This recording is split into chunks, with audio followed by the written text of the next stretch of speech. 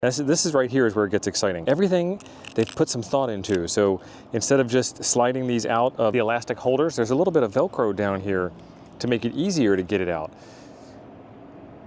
We've seen these kinds of poles on center loaded coil antennas, but they put the little caps on the ends to protect the threads. That's nice. Oh, look at that. The end of this is actually beveled over to make it easier to get it started when you're screwing it together. Just makes you want to take good care of it. This here is the coil itself.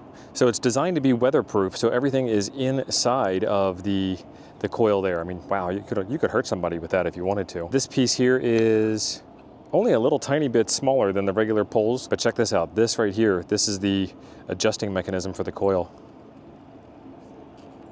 Slides up and down. It's got some markings on it so you can tell where it is you're starting and stopping and take some notes. I wanna go three up. Three up is 20, I'm making a number up here. Five up is 30, and I'm actually going in the wrong direction too. It's just an example. Six up is 40, etc. So you kind of take some notes when you're out in the field. You can do some fine tuning real easy. You can kind of feel that. Listen to this. You can hear that it's clicking as it passes over each wire inside of the coil. And then we have our adapter, which is also our ground stake. And so it's got a nice cover over it so you don't stab yourself.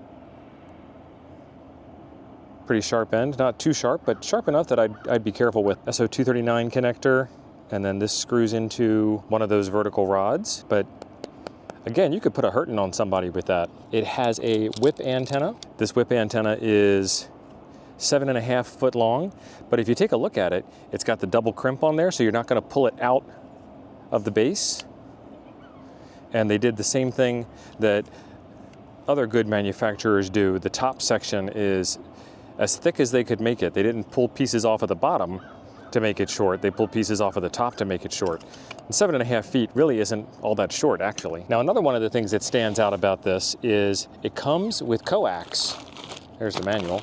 It comes with coax and it actually comes with an adapter to get you to BNC. So there's some coax there. I'm gonna say it's RG58, but there's no marking on it and there's no indication on the website, but it is nice and flexible and easy to work with. And then the ground radial system, it's not one of those ribbon cable things, and they're actually using three millimeter banana plugs on there. I'm gonna get this thing set up and then we're gonna get it on the air.